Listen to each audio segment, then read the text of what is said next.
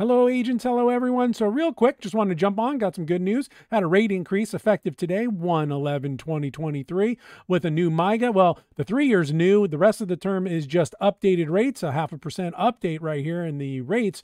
So, the three years now at 5.50% for all three years. They have a five year at 5.65. They also have a seven and a 10 year, but really, everyone's really much lo- locking into the shorter term rates.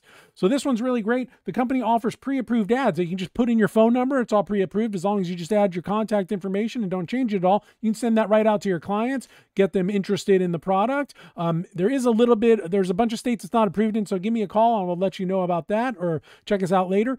Uh, also, um, want to tell you that it's a, uh, there's some unique policy features in this contract. So give me a call. I'll also tell you about those on how if you plan it right and mark it at the beginning of the term when you're signing up the client, you can take advantage of the higher rate and still get all the benefits for the beneficiary. So that's really cool as well. Also with this one, we have in the states of um, California and Florida, you can do uh, it's 10 basis points less, but they throw in certain features that would cost 35 basis points less in other states. So really cool in California and Florida. Works really great for the split annuity. Check out my split annuity videos if you want to know more because it gives you more money to go into the immediate annuity, some more income. And, you know, on non-qualified money, we got those exclusion ratios. So great for California, Florida. And then uh, one, another thing is as we're seeing on a lot of MYGAs right now in 2023, the minimum guarantees have increased. This one's increased all the way to 2.75. So after that three years, it's going to renew, but it can't renew at anywhere anywhere less than you'll have a 30 day window to exit, but if it doesn't exit, won't ever be less than 2.75.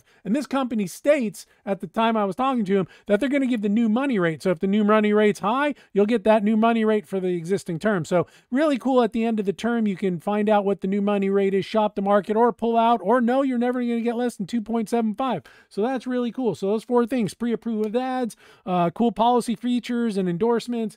You have a great uh, rate uh, advantage in California and Florida, even though the initial rate's lower the benefits you get out of it are uh, very good. You get a quarter point bonus basically above all the other states uh, that do that. So anyway, that's the deal going on with this new MYGA. We also have an A plus company that's going to be coming out with good news in March. So stay tuned for that. Um, with their MYGA currently only at 480 for five years, but A plus if you need some super high quality product.